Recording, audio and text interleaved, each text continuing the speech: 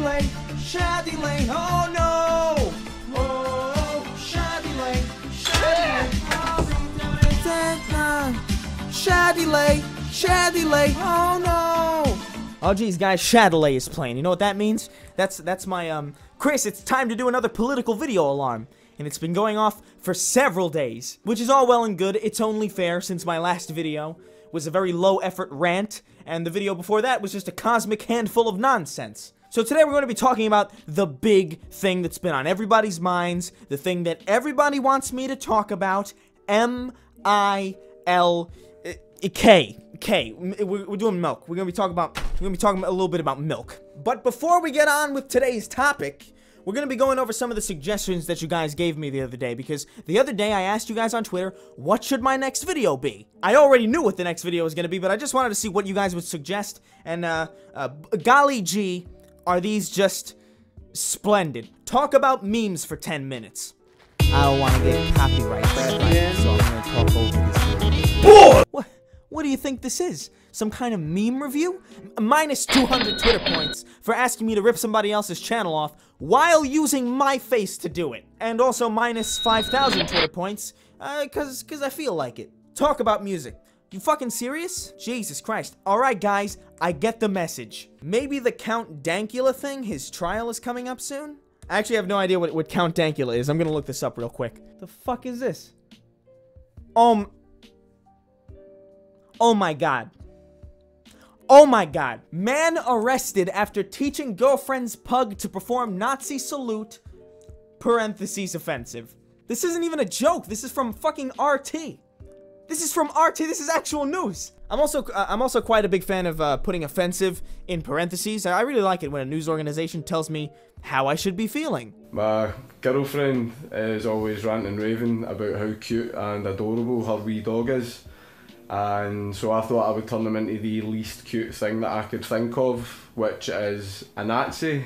Sieg Heil! Sieg Heil!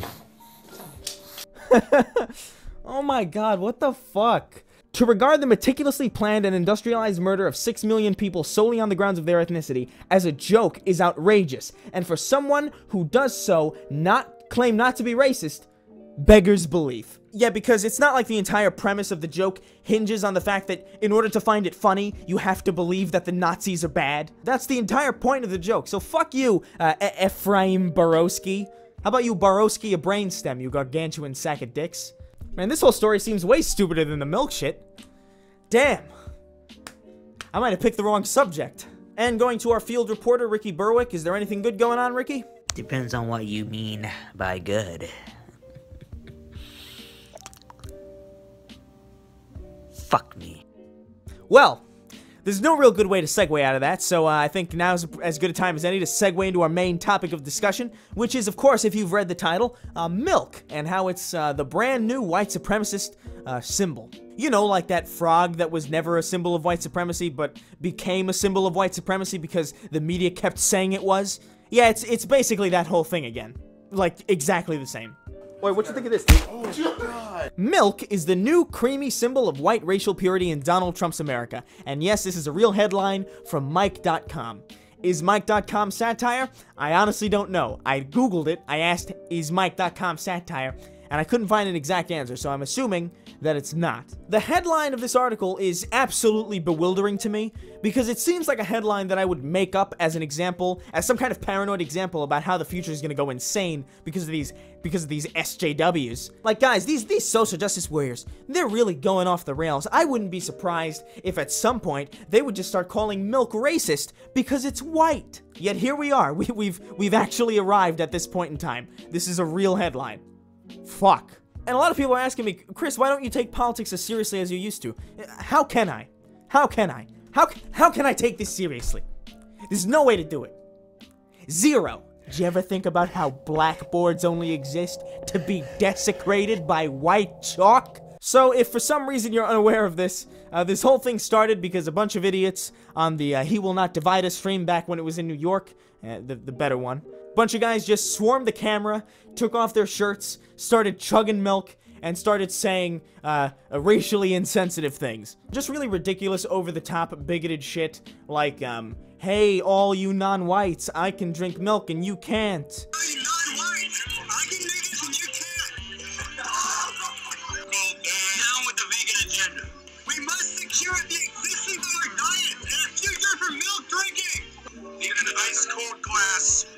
Pure racism.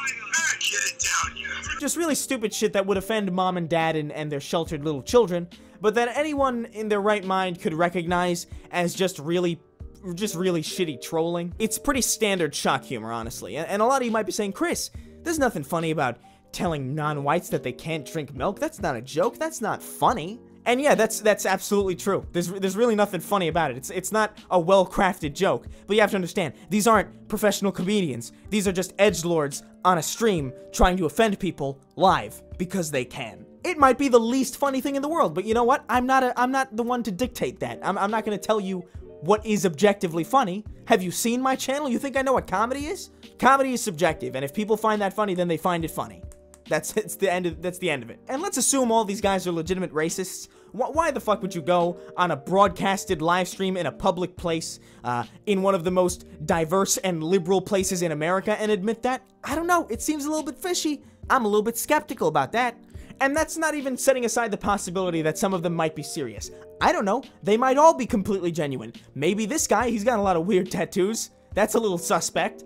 I can't say for sure, but if they are all racist, why are you giving them the power to take fucking milk? Like, like why let a handful of racists dictate the the public perception of milk? That ain't fair to milk. Milk ain't do nothing wrong.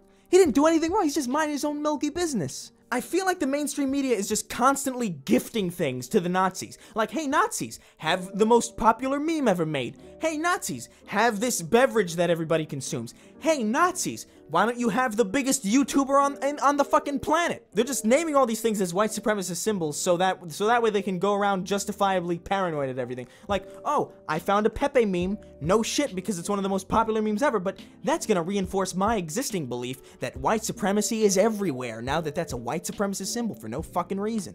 And then they go over some of the bullshit pseudoscience that that made its way to 4chan about how like, oh, only white people can process milk. It's clearly just bullshit. It's clearly just complete bullshit for the sake of a dumb joke, but they're treating it as if it's like a genuine claim. The whole milk chugging anti vegan narrative is complicated by a number of factors, not least of which being that Adolf Hitler was possibly vegetarian for a short time, or that there are many places in Africa where milk is a dietary staple. Then again, white racial purity is a fragile pseudoscience, so trying to find a sound explanation is a tall order anyway. Jesus, it's almost as if nobody looked into this at all, and uh, it's just a half-hearted fucking joke. secret, secret Nazi code kept hidden by milk and vegan agenda. yeah. Here we are. You know, a lot of people are fascinated by color blindness. You know, the fact that people are born into this world without being able to see reds and blues and shit. Uh, and you know, that, that's that's all well and good. That's that's interesting. Uh, but personally, I'm far more interested in the fact that people are born and or raised into adulthood without ever being taught to perceive irony in the slightest. The people who look at everything they see on the internet and think, yes, this is 100% genuine and true. Even though the unofficial language of the internet appears to be gargantuan sarcasm and unrelenting irony. How those people go about navigating their lives in a world that's completely dominated by the internet, that is, ooh, that is some fascinating shit. Better call National Geographic, because we're gonna, we're gonna start a documentary on the irony blind. Under the YouTube video of the He Will Not Divide Us Nazi Party were semi sarcastic comments such as these Heil milk and gas the lactose intolerant milk war now. Yeah, it's semi sarcastic. Semi sarcastic. You fucking moron. Imagine, imagine seeing somebody say Heil milk and believing that that's genuine. I'm having a I'm having a fucking conniption. Oh, look at all these people who I perceive to be racist. They put milk in their names. Guess that means milk is a fucking white supremacist symbol, even though they only started doing that after everybody said it was a white supremacist symbol, as in in a way to take the piss out of the people who believed it. Oh man, I don't understand the internet. Somebody fucking crucify me, fucking. If someone you know starts adding milk emojis to their name and starts talking about how well they can tolerate lactose, it's probably time to defriend. You know what, guys? Not enough is being done. Not enough is being done to solve this racist Nazi epidemic sweeping our country and sweeping YouTube. I just I just can't keep quiet anymore. There are a lot of closet Nazis that I speak to on a regular basis who are just the worst people. And you know what? I didn't ask to be the hero in all of this, but alas, the burden falls upon me. Some are born great, others have greatness thrust upon them. And I have a responsibility thrust upon me to expose the Nazi filth that you have probably been watching if you're on this website at all. So, as a service to the greater good and to you guys, I'm going to expose some Nazi YouTubers. And as we've learned from today's main story, there's only one question that really matters. Are you, are you, would you consider yourself a fan of milk? No, you haven't called me up for this. Are you, are you a fan of milk, Alex? Answer the question. I yeah, yeah, I drink milk sometimes. Got him. Got him. That's- Would you consider yourself a fan of milk, uh, Mr. Repzion? A fan of milk? A fan of milk? Yes, definitely. Oh, jeez, man. This isn't going good. Would you consider yourself a fan of milk? Uh, yes. Oh man, it's not it's not looking good, guys. You you you you you a fan of milk? What? Are you a fan of milk, Elvis? Milk? Yes, milk. No, I'm lactose intolerant. Oh, we got a good one. Are you a fan of milk by any chance? Milk? Uh, not, uh, not necessarily. Another good one.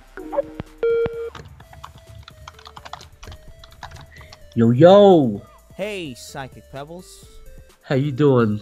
Need to ask you a question. Would you would you consider yourself a fan of the milk? You know, I love drinking. I love gulping it down. You you you you you'd say you're a fan of milk then? I love guzzling it, yeah. Oh man. Oh shit, I get camera today? Yo, you you fan of milk, man? Yeah, I'm a fan of milk. Got him. What? Got him.